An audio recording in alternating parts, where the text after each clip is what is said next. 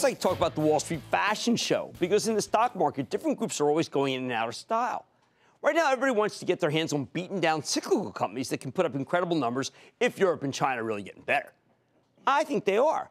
But the people buying these stocks need to get their money from somewhere. And that's why the pure growth companies, the ones that can consistently put up spectacular numbers in good times and bad, are getting a lot less love than they used to. However, if you think long term, this kind of rotation can create some terrific opportunities. Consider the cybersecurity space. Now, we know this is a powerful secular growth theme that's not going away anytime soon. Yet the stocks here are all well off their highs because secular growth is out of style at the moment.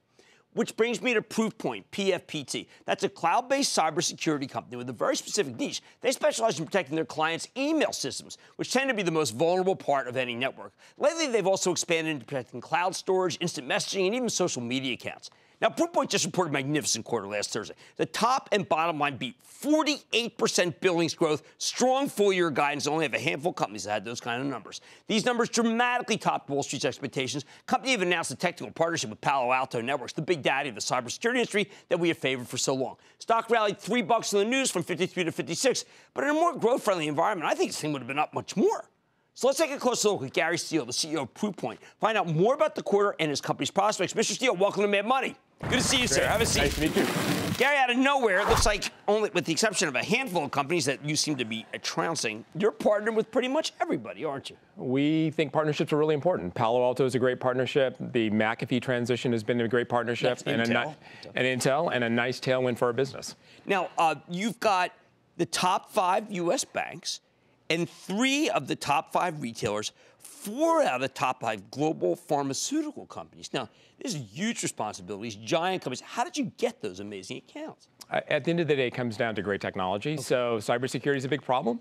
People recognize that, and I think, as you mentioned in your opening, companies are being attacked right. through phishing attacks that come through email and they need sophisticated technology to be able to identify and block those attacks, and that's where we come in. Okay, so targeted attack protection is something I see repeatedly through all your documents. Right. So uh, I'm a retailer. You come in and you offer me targeted attack protection. What does that keep me from uh, ha- having bad to me? What, what, what does that stop? It stops phishing attacks. So these are messages directed at individuals, oftentimes with a malicious attachment. Right. Could be ransomware, or something really bad.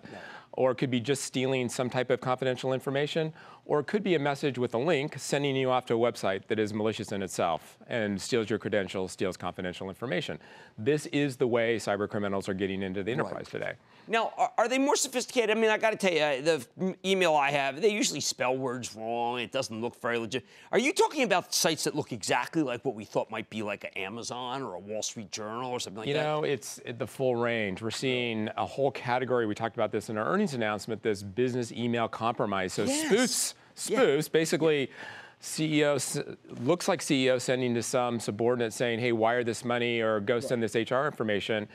You know, this is one of the big issues today. And in those messages, there's no malware, there's no link, there's no attachment that's malicious, and so those are hard to detect, and people are struggling with this because it's easy to get subsumed into those kinds of scams. Now, one of the things that I thought was interesting is when you started, you said you had seasonality. Now you don't. That's just a sign of tremendous strength, even though obviously it's also a sign there's a lot of tags. Well, I think that there's this broad recognition that this is a problem today, and in Q1, we had really good linearity through the quarter, meaning we were oftentimes in enterprise software at all books at the end. We saw very good regular linearity throughout the quarter, mm-hmm. which we were very excited about. And I think it speaks to the strength in the market for us. And as a company, we don't drive our business around big breaches. Right. We have consistent behavior from a, from the buyers. Okay, that's important. I mean, you, look, it's mentioned in the document, so I think it's fair game.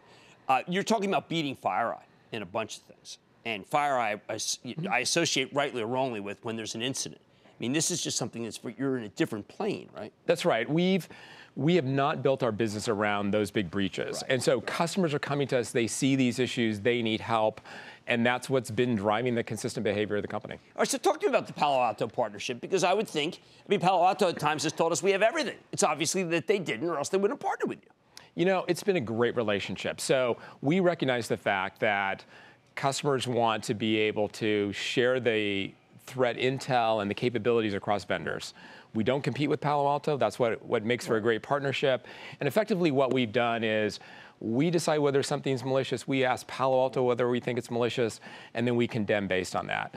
What's cool is we don't charge anything for this. We just make the world better. And if you use both of our products together, we give you better Okay, security. uh, you gave me a little open here on the world better. I'm reading today, and I know it's far afield, but you know we're going to attack ISIS cybersecurity, cyberspace. We, are we that good? We are actually. We are. We are. Really? The good We guys are good? Well, Tell think, me. You know, there is this transition from going from defense to offense. And I think we have the ability to do that. Are you? Are, well, I, I don't know if you're allowed to talk about it, but I presume that you know whereof you speak. Well, we're not we're not an active participant with with the government with those kinds of initiatives, but we see what's possible. And you have faith in what we're doing. I have faith in what we're doing. Well, I like that. I'm going to end on Yeah. that positive note for, for All right. Proofpoint and for the United States government. That's Gary Steele, CEO of Proofpoint. These guys really are on fire. Unbelievable. When you get that plus 40%, maybe three or four companies this year, maybe five. Mad Money's back after the break. Booyah! Jim Cramer here from Mad Money. Thanks for watching CNBC on YouTube. Click here to subscribe and get the jump on my exclusives with CEOs, plus market news, investing advice, and a whole lot more.